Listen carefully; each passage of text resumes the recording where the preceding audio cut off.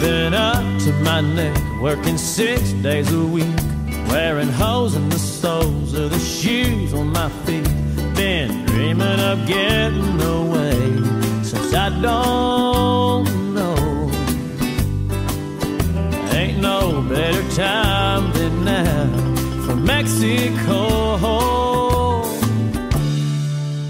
No shoes, no shirt, and no problem.